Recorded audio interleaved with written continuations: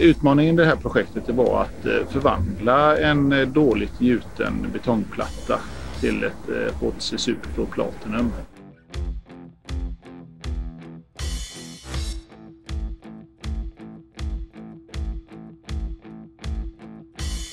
Vi fick slipa i väldigt många överfarter för att nöta ner golvet helt enkelt och få det så slätt som det slutgiltiga resultatet är.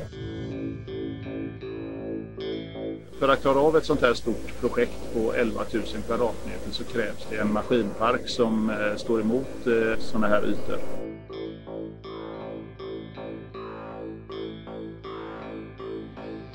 HTC Superfloor som golvlösning är ju ett eh, ypperligt golv. Man slipar bara fram det som redan finns här. Alltså, betongen måste man ha vid ett hus ändå. Den, den, den, ligger, den ligger där den ligger och i detta fallet så får man ett fantastiskt golv bara genom att slipa ner det och förädla det. Och det är ett eh, väldigt lyckat eh, recept.